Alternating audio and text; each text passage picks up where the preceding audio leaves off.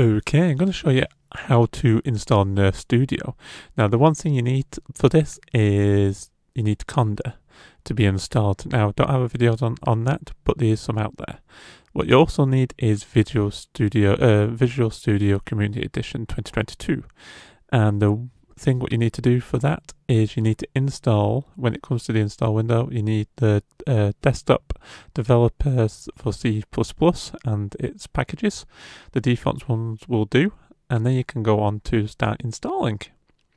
What you want to do now is go to the Nerf Studio website and go to installations. When you have done that, you want to just drag that to the other side of the screen and also open up command prompt or uh, conda command prompt, uh, depending on if you installed the paths or not installed the paths. If you haven't, then just go to con- uh, conda command prompt. Now, when you open that up, you do. Oh, I just want to add that you do not want to use PowerShell at all when installing. It causes too many errors for me anyway, and it's just not worth it. So, when you've done that, you want to start running through the list of the instructions. So the first one is to set up the environment and the name. So it will be Nerf Studio. And then it will be also choosing the path, uh, not the path, Python version. And then after that, you also want to run a conda activate the environment.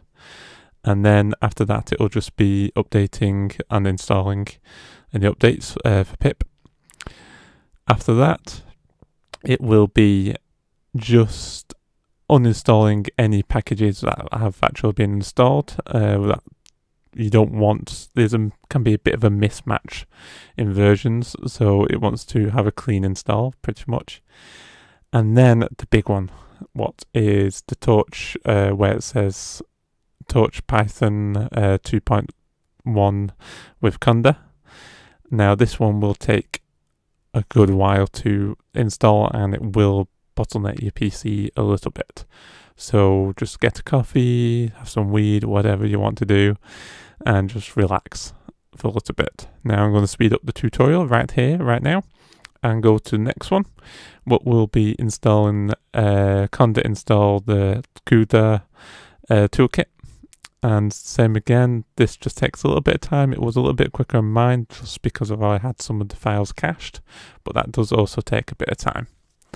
And then after that is the big one, what most people will get stuck on. Not if you've done it this way using CMD, but if you're using PowerShell, then some people have problems. But there can be errors what can turn up if you're using uh, Conda already been installed via the development kit and it's a mismatch number. So you also want to try and get that uninstalled if possible. So you just want to type that one in and this one also takes a good probably about four or five minutes to install. And then that's pretty much it. The last one is pip install Nerf Studio and that will uh, install pip uh, the actual Nerf Studio program, whatever you want to call it. And that is it. So, uh, hope you found this useful. Remember, subscribe, rate, and comment, and see you again in the future. Bye.